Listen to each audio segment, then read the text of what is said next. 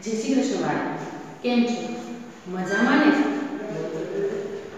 આજે આપણે ધોરણ આઠ વિષય કયો છે ગુજરાતી. પાઠ ઓગણીસ સાંડ નાખે. એના લેખક છે ઈશ્વર પેટલીકર. તો બાળકો, તમે બી મારી જોડે આ પુસ્તક તમારી સાથે રાખજો. તમને આ પાઠમાં બહુ મજા આવશે. કેમ કે પશુ અહંકારની ભાષા. અહંકારની ભાષામાં એક મનુષ્ય પશુને કેવી રીતે એના પોતાના પ્રેમ તરફ વાળે છે? એના ઉપર આ પાઠની વાર્તા છે બાળકો. તો ચલો, આપણે સૌપ્રથમ લેખક વિશેની માહિતી મેળવી લઈએ કે ઈશ્વર પાટલીકરનું મૂળ નામ ઈશ્વરભાઈ મોતીભાઈ પટેલ હતું તેઓ ખેડા જિલ્લાના પેટલી ગામના વતની હતા તેઓ આપણા અર્વાચીન ગુજરાતી સાહિત્યના જીવનધર્મી લેખક છે તેમણે વાર્તા અને નવલકથા જેવા ક્ષેત્રોમાં નોંધપાત્ર પ્રદાન કર્યું છે જન્મદિન ભવસાગર મારી રહ્યા છે. એમની નવલકથા છે. લોહની સગાઈ તેમની જાણીતી વાર્તા છે. હવે જન્મદીપ નામની નવલકથામાંથી આ પ્રકરણ લેવામાં આવ્યું છે. માતેલા સાંઢને નાથવાની જ્યારે કોઈ પુરુષની હિંમત નથી ચાલતી, ત્યારે યુવાન ચંદ્રા એ બીડું ઝડપે છે. પોતાની બુદ્ધિ ચતુરાઈ અને સ્વચ્છતાથી એ સાંઢને આપણે નાથે છે. એમાં સ્ત્રી શક્તિનો મહિમા થયેલો જોઈ શકાય છે. સ્ત્રી સપડાનું ઉત્તમ ઉદાહરણ ચંદા પૂરું પાડે છે. એટલે બાળકો, આ ચંદા હોય છે ને, એ એક સ્ત્રી હોય છે. પણ એટલી જુવાન અને જુસ્સાભેર સ્ત્રી હોય છે, કે જે ભલભલા પુરુષોને પાછળ પાડી દીધી તો ચલો બાળકો, હવે આપણે પાઠની શરૂઆત કરીએ કે ચંદા એ રૈજીની છેલ્લી હતી છતાં રૈજીના જુવાનીનો જુસ્સો એ જોમ જોમમાં ઉતર્યો હતો. નાનપણમાં તોફાન, જુવાનીમાં ફૂટતા કરબાઈને. નવી નવી કુંપળ નીકળતી ચાલે. ભમર ચઢાવેલો ગુમાની ચહેરો. ગુમાની એટલે અભિમાની.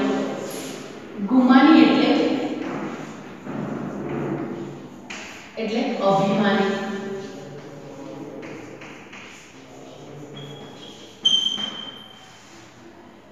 અચ્છા ચંદાનો વ્યક્તિત્વની વાત છે કે ચંદાનો ચહેરો કેવો અભિમાની લાગતો હતો.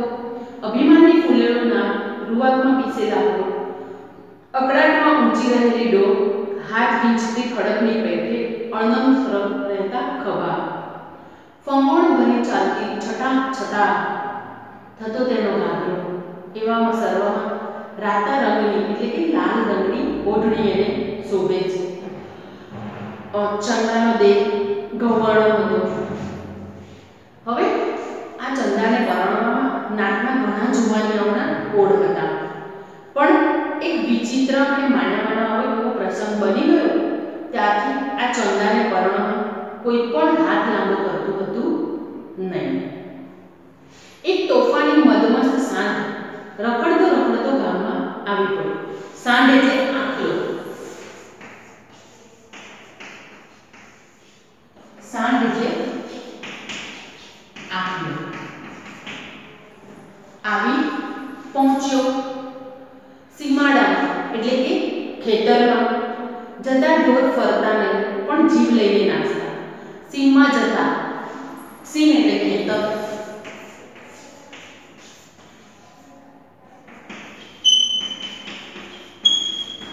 એટલે ખેતરમાં જતા ઢોર જતા નહીં લોકો પણ ખેતરમાં જતા ડરતા હતા. પછી આનો ઉપાય કરવા એક વખત લોકો ભેગા થયા. એણે કહ્યું, એક વખત જો એના પગે ડહકલો નાખીએ તો બીજે છીએ હવે ડહકલો એટલે શું? એના પગને બાંધી દેવો. બીજો, ત્યારે તે બકરી બની જાય છે. ત્રીજો, અત્યારે તે તીર નથી અડતા. પણ બોડીના ઘા પડશે ત્યારે ખબર પડશે.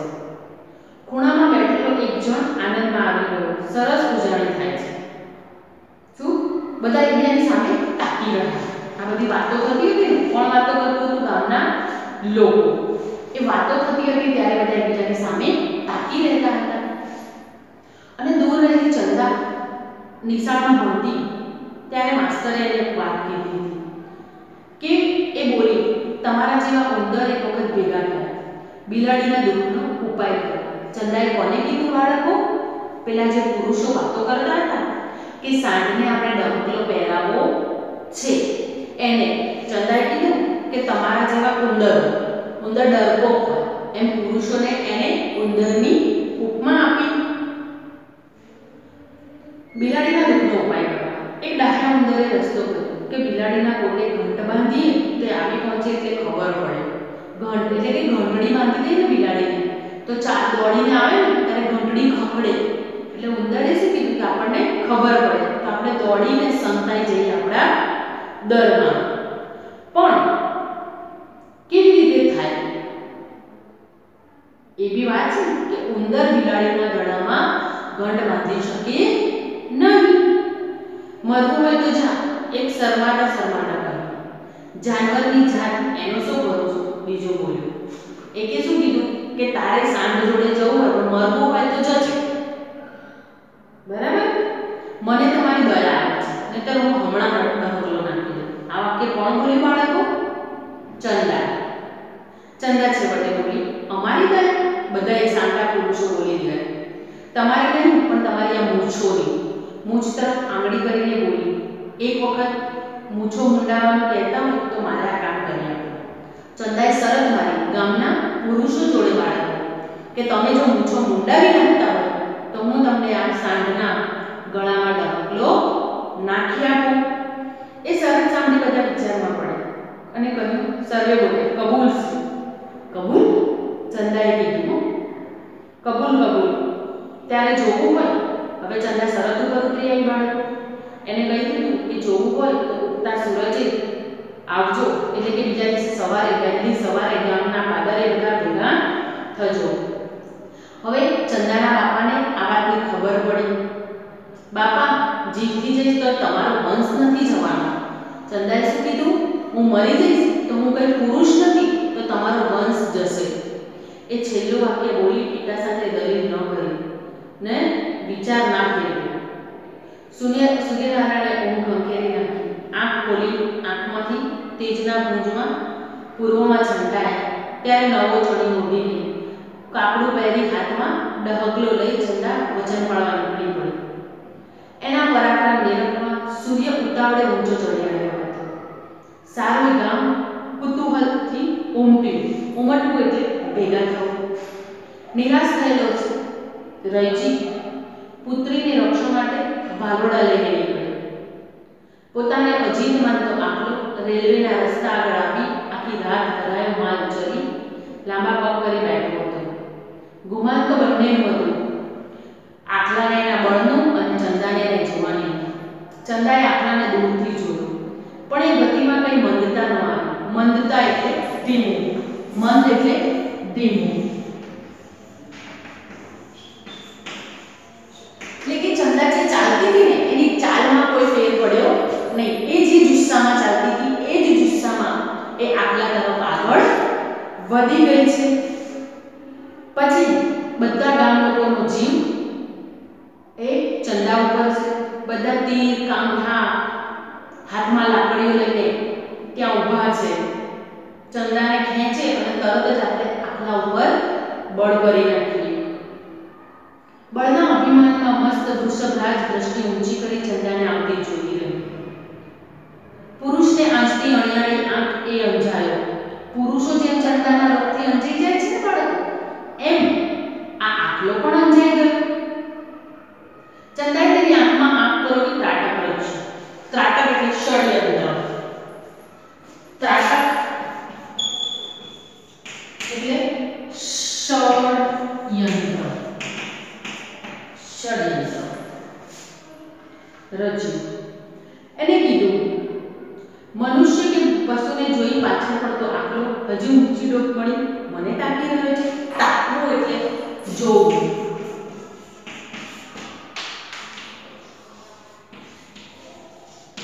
તાકવું એટલે જોવું સ્ત્રી શુલ્લક લાગતી હતી એના સૌંદર્યથી અંજાઈ ગયો હતો ગમે તે આજે પ્રકૃતિમાં પરિવર્તન થયું છે અરે રાસમાં છેકું રહ્યું ને ત્વરત પગલા ઉપાડતી ચંદાના પગ થંભી ગયા થોડી દૂરી પર આવી આખલાથી નજીક અને ચંદા બ્રેક મારી દીધી.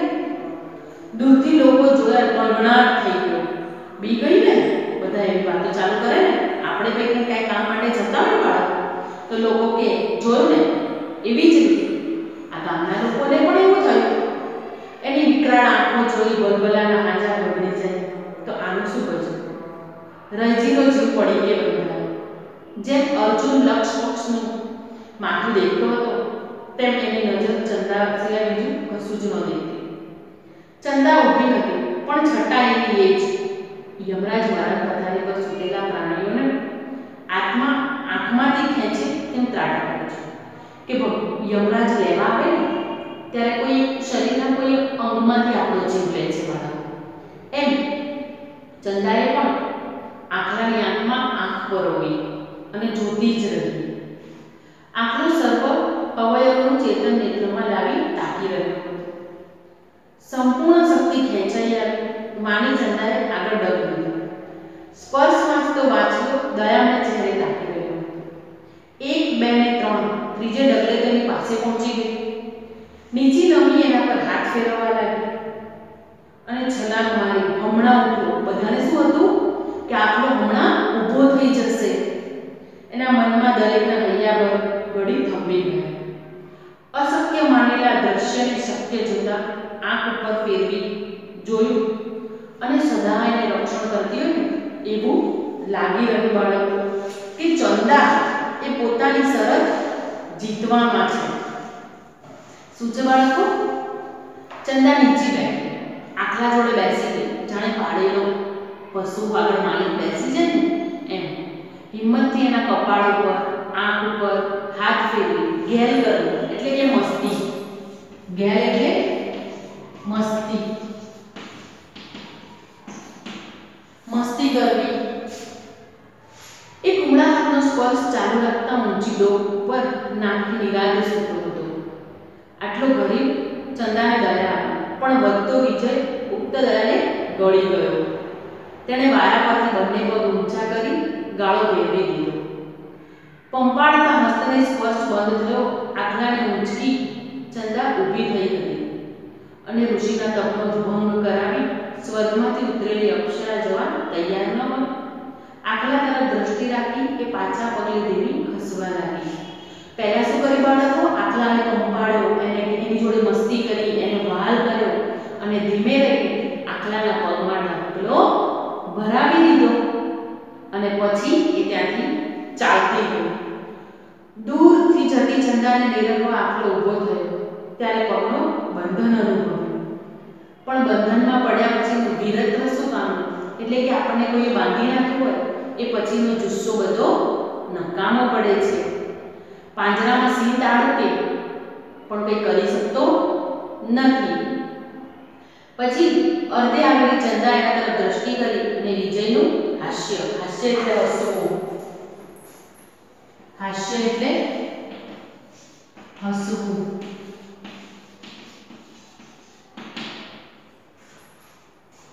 હસવું હસી કોની સામે જોઈને હસી બાળકો બરાબર આંકલાની સામે લોકોની નજર નજીક આવતા ચંદાએ સત્તાવાર સ્વરે હુકમ કર્યો કોઈએ એને મારવાનો નથી બધે મૌન જોવાઈ ગયું બેટા પુરુષથી ના થાય એ આજે કર્યું રવજી પુત્રને ભે- પુત્રીને ભેટીને બોલ્યો, બાપા, આ શું બોલો છો? પુરુષથી ન થાય એમ કેમ બન્યું આ નજરે જોઈએ ખોટું, આટલા પુરુષોમાંથી કોઈની હિંમત ન ચાલી રજીએ ચારે બાજુ ઉભેલા પુરુષોના સમુદાય તરફ નજર કરતા હતા તમે પુરુષ દેખતા હોય તો હું તો કોઈ પુરુષને જોતી નથી. આવું વાક્ય કોણ બોલ્યું બાળકો? સર, ચંદા બોલી એને કટાક્ષ સાંભળી દરેકને બોલમાં બેસી જવાનું મન થયું. પણ આ કટાક્ષ ફરીથી કોઈએ ઉચ્ચાર્યો અને ફરતા ગામડામાં આ વાત પ્રસરી ગઈ. એટલે બાળકો, તમને આ વાર્તામાંથી શીખવા મળ્યું ને કે દરેક જગ્યાએ પુરુષની હિંમત કામ કરતી નથી. કોઈ જગ્યાએ સ્ત્રીનું સ્વાભિમાન, સ્ત્રીનું અભિમાન, સ્ત્રીના ગુણ અને સ્ત્રીના અવગુણ પણ કામ કરે છે બાળકો. ખબર પડી? હવે રૂઢિપ્રયોગના અર્થ છે. કે જીવ લઈને નાસવું. તો જીવ બચાવવા ઘણી જ ઉતાવળે દોડવું ચૂંકે ચા ન કરવી તો કંઈ પણ ન બોલવું એકના બે ના થવું એટલે શું પોતાની વાતમાં મક્કમ રહેવું? હાંજા બગડી જવા તો બીકથી થથરી જવું. ગજુ ન હોવું તો શક્તિ બહારની વાત હોવી. જીવ પડી કે બંધાવવું ભારે ચિંતા થવી. ભોયમાં બેસી જવાનું મન થવું. ખૂબ શર્મા. આ બધા શું હતા બાળકો રૂઢિપ્રયોગના અર્થ હતા હવે, તમને આ રૂઢિપ્રયોગના અર્થ પરીક્ષામાં પૂછાય, તો એના વાક્ય સહિત તમારે જવાબો લખવાના રહેશે. હવે, કોણ બોલે છે અને કોને કહે છે? ત્યારે તો બકરી બની જાય છે. આ વાક્ય કોણ બોલે છે? ચંદા પણ ડહકલો નાખવા કોણ જશે આ વાક્ય ચાર પાંચ પુરુષો બોલે છે. બેટા પુરુષથી ના થાય તે કામ તે આજે કર્યું. આ વાક્ય ચંદાના પિતા રૈજી બોલે છે. તમે પુરુષ દેખતા હોય તો હું તો કોઈ પુરુષને દેખતી નથી. આ વાક્ય ચંદા બોલે છે. ખબર પડી બાળકો તમને આ પાઠમાં કે મેં તમને જે શીખવાડ્યું એ બધું તમે સરસ રીતે સમજ્યા હશો. બાળકો અહીંથી આપવામાં આવેલું ગૃહ કાર્ય વ્યવસ્થિત રીતે તમારી નોટબુકમાં લખવાનું રહેશે. એટલે તમને એક્ઝામ વખતે કોઈ તકલીફ ના પડે. અને અમારો આ વીડિયો તમારે વારંવાર જોવાનો અને જોયા પછી જો તમને ગમે તો એને લાઈક કરો શેર કરો અને સબસ્ક્રાઈબ કરવાનું તો ભૂલતા જ નહીં. જય હિન્દ, જય ભારત.